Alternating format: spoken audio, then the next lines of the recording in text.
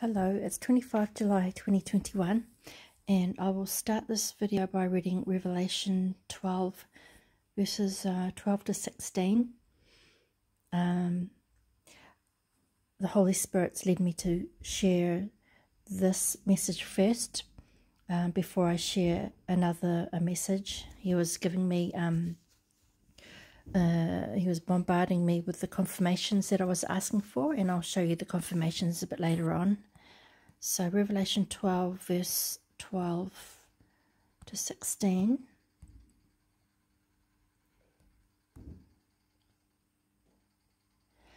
Uh, Therefore, rejoice, O heavens, and you who dwell in them.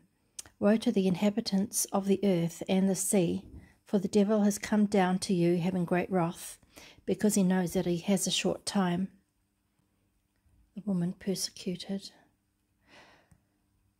Now, when the dragon saw that he had been cast to the earth, he persecuted the woman who gave birth to the male child. But the woman who was given two wings of a greater eagle, that she might fly into the wilderness to her place, where she is nourished for a time and times and half a time from the presence of the serpent. So the serpent spewed water out of his mouth like a flood after the woman, that he might cause her to be carried away by the flood. But the earth helped the woman, and the earth opened its mouth and swallowed up the flood which the dragon had spewed out of his mouth. And I'll just read 17. And the dragon was enraged with the woman, and he went to make war with the rest of her offspring, who kept who keep the commandments of God and have the testimony of Jesus Christ. So so back in May or June 2021, I came across a news a local news article about sea snakes being found on the beaches of New Zealand, which is uh, very rare. We don't have snakes here, um, but they do sometimes appear on our beaches um, on the currents from from other parts, such as Australia. And this one's entitled "Snakes Snakes on a Beach." Uh, and they are um, very deadly. So, um, three yellow bellied sea snakes were found on our shores, and just came to me that three is a number of confirmation. So, as I read the article, it um, I was reminded of a dream I had as a child, um, where I was in deep water with my mother and myself, and I saw a, a black and yellow sea snake coming along. And as it approached us, I began rebuking it in Jesus' name. And um, I've always remembered that dream and um, never really knew what it meant. Um, but as I prayed into it, um, Holy Spirit had me understand that my mother symbolizes the woman in Revelation 12, and I symbolize the child or the man child. Serpent, the sea snake is, of course, Satan, the dragon in Revelation 12, and the waters are in Revelation 12 as well. So it was a Revelation 12 dream. And um, I can see that it has three layers of meaning. The first being that um, uh, it confirms my calling as um, part of the man child in Revelation 12, and a second possibly because the the vaccine has been called a snake bite. It was a warning um, to my mother, um, but she's already taken the bite, um, despite all my warnings and giving her information and fasting and praying. But I continue to fast and pray for her and, and my family. And then the third, um, which I believe um, as a message for the whole church and the whole body is that um yeah it's a warning to to get out of the waters of revelation 12 and the lord uh, led me to um, a video by a sister judy uh, Lab, labwala i can't say her name but i will link her video and i'll uh, briefly explain what she was shown and the revelation given to her about the waters of Revelation 12. Um, So I did a quick search, uh, Yellow and Black Sea Snake New Zealand, to find the articles. And if you just have a look here, it says it's highly venomous, yellow-bellied sea snake, um, highly venomous sea snakes washing up on the beaches uh, and not to touch them. Uh, highly venomous down at the bottom. And second deadly sea snake in nine days found. Highly venomous sea snakes show up on New Zealand beaches.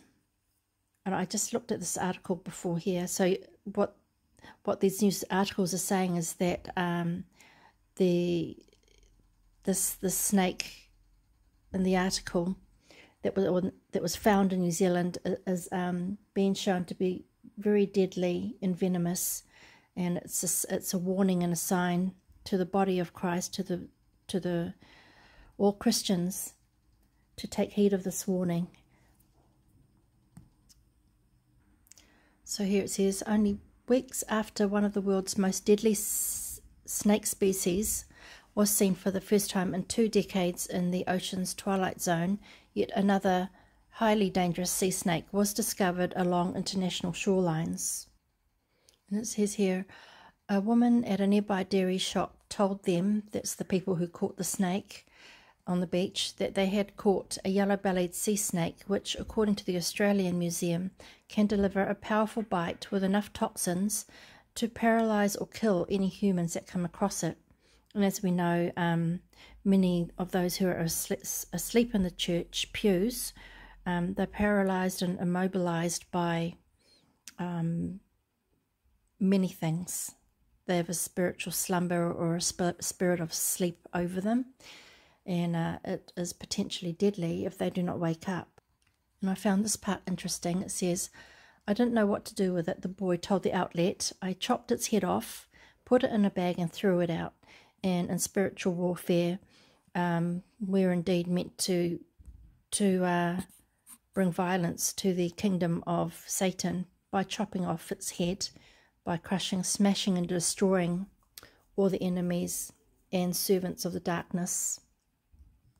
So, as I prayed into this dream and asked for more understanding, the Lord led me to Sister Judy's video on 29th of June. Um, but I just wanted to ask the Lord to see if I should share it, and I said if if if He wanted me to, to show me um, yellow and black colours around me. And um, I began taking photos, and I had I came across an album that I began, and I had six images in it. Um, I was uh, I was um, I was telling my boys about the dream, I believe, and then I remembered that I had asked for these yellow and black um, images and signs to be shown to me for confirmation. And I, actually, I must have forgotten about it, but the Lord brought this to my remembrance. So the day that I remembered, I only had six images in the album. And that evening, as I told my boys, I saw four more uh, black and yellow all around me, just within our kitchen dining area in the space of one minute. And then in the space of one or two days following, I have now taken 44 pictures or, or images. So I'll just quickly show you these. So it's all of these in this album, all the yellow and black I began seeing around me.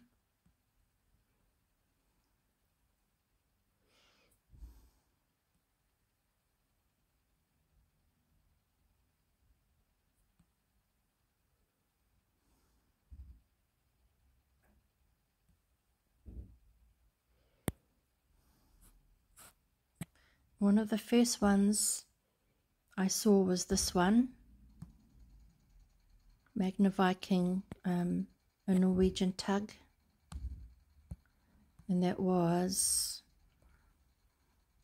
for this movie Tenet, uh, a time a time twisting, time bending movie, and even in the image here, it's uh, black and yellow, and yellow and black is is uh, on here twice black and yellow highlighted, and then black and yellow highlighted at the bottom. So, yeah, the Lord was, He was definitely reminding me, um, confirming to me that He wants us shared as a warning to the church body. So please, if you can um, share this, this warning to those who are asleep and just pray. Holy Spirit will um, open up their ears. So um, I forgot to list down the the five things from Sister Judy's teaching revelation video, but I will um, try and do it as I edit the, the video later on. So um, Spirit led me to listen to this, and the title of Judy's message was um, it was for Kenya and also for the church.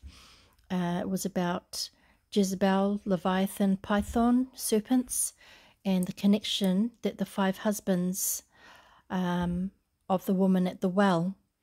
Um, so we know that Jezebel, Leviathan, and Python, they are all uh, serpentine uh, spirits, entities, and um, Jezebel and Leviathan together run the marine kingdom. If you don't know what the marine kingdom is, please research it. But briefly, it is the, the most the most biggest, massive, extensive, and highly organized kingdom of Satan here on this earth.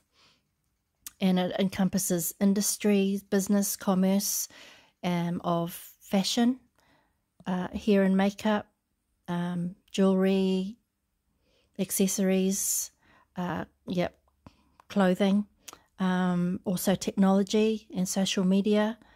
Uh, uh, it has many, many layers and it's responsible for worldliness. Okay, so it's a trap and a snare for the whole world and the church. Many Christians are falling for these traps and snares. Um, oh, I must go back and, and show you how. Um, I got to the understanding that the black and yellow snake it symbolizes the world but I'll do that later. So basically, the yellow and black serpent it symbolizes the world, which uh, is drowning in the marine kingdom, basically, and being ruled and run by the marine kingdom. Um, and the the woman at the well, she had five husbands, meaning that she couldn't stick with one husband, not just one. She couldn't be faithful to one husband, but she had many husbands. She had several. So she was, she symbolizes an unfaithful woman, or and a woman symbolizes a, a body or a group of people or a corporate body, which is the church. And we know in this day, in these end times, that many in the church are unfaithful to Jesus. They're being spiritually unfaithful to Jesus uh, because they have many idols in their hearts, which need to be taken down and um, they're not practicing spiritual faithfulness and they have lost their first love or they are feeding from the table of Satan and the table of Jesus and they are being lukewarm because of this. They've got worldliness in them and they are serving two masters. Um, and Mammon is one of these five husbands that Judy was shown. Um, and it says in scripture that uh, we cannot serve two masters, we cannot serve money and Jesus.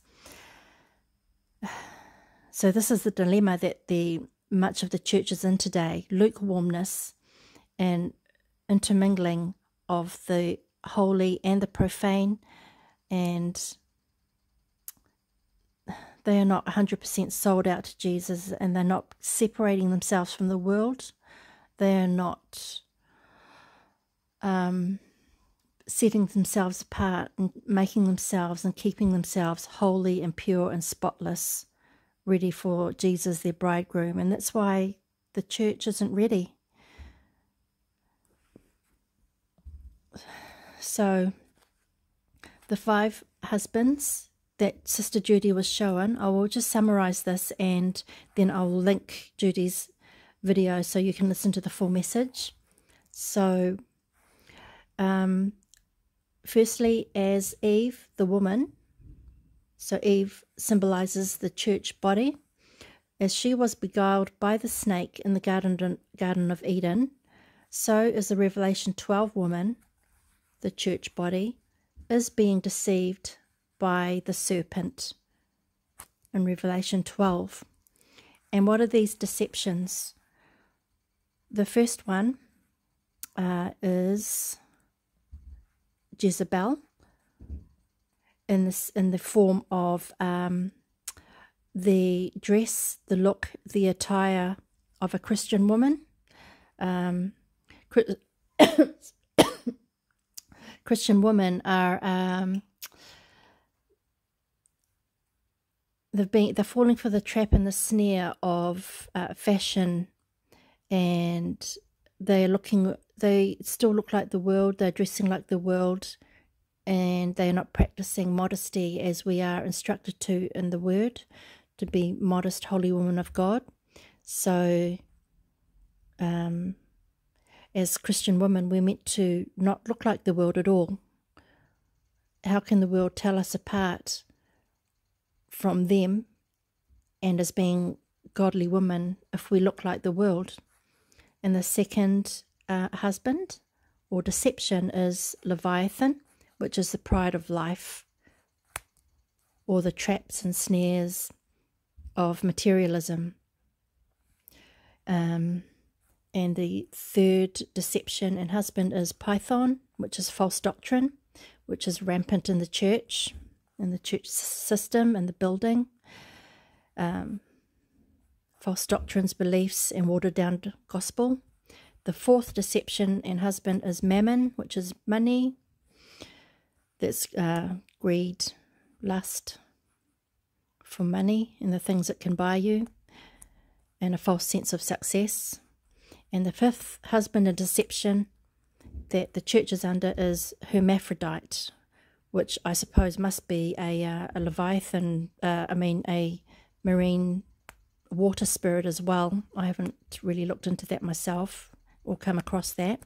And this represents the the ever increasing LGBTQ plus movement that we are seeing all around us or the perversions and corruptions of what God has made natural and normal, the Satan, the serpent, is twisting just unbelievably like anyone with any normal person can see that how twisted things are becoming so so the message is a warning for the church for all christians is that there is a deadly snake in the water, and to get out of the water, we are up to our necks deep in this water, and it's all around us now. And um, because many are so blinded, because they're in it, they cannot see it for what it is. So we're we're deep in, in the waters of Revelation 12, and um, the waters symbolize the world which is also Satan. Uh, in scripture, you can, when you read the world, you can uh, interchange that uh, for Satan, because uh, he's currently the prince of this world. Like um, Father has given him uh, rulership and reign over this world for this time, for at this time, and um, yep, he has many traps and snares for us to fall into. Many, much, many, many stumbling blocks. I must say that for number one, Jezebel, the the the dress and attire and the look of a Christian woman is a stumbling block for man. And as Eve was a stumbling block for Adam, and Eve became, there was enmity between Eve and the serpent, this has never ever stopped. And the serpent is using Eve as a stumbling block for a man. And uh, Satan knows the weaknesses of a man. Uh, they're natural, um, God given desires of a man, but Satan, as he does, he perverts and corrupts everything. So, and I will just show you how, um, because I wasn't understanding how the meaning of the yellow and black, but I'll show you the one just as I was praying over and researching yellow and black, uh, Holy Spirit, He gave me understanding. So this is um, there's a there's a a worldly secular rap artist. Uh, he, he has a song called Black and Yellow, and it's I don't even think it has any evil meanings unless someone knows. Please let me know. But for him, it simply was his colours. I think he comes from Pittsburgh, and his team colours are black and yellow or black and gold, and so he was just being um uh, just showing his faithfulness or allegiance to his hometown. Uh, and it was Khalifa, black and yellow. Um, and I was just saying to my, thinking to myself that this artist is, he's of the world. If you, you don't want to read the lyrics, they're quite pretty disgusting. um, yeah, so as, as I said, he is of the world. Holy Spirit, let me know that the black and yellow serpent, he is Satan, who is the prince of this world and worldliness. So I don't know what else to say, but I pray that the church heeds the warning to get out of the world and all the traps and snares of Satan, particularly the five that was uh, shown to Sister Judy Get out of the world now and set yourself apart for God, for without holiness we cannot see God. And He expects, He's only coming back for a bride that is pure and spotless and without stain, whose uh, garments are pure and white and clean, and the church isn't ready. So I pray, please share this as you are led to those of you who know that your um, family and friends are still in the world. And pray the Holy Spirit will do a work in their lives. God bless.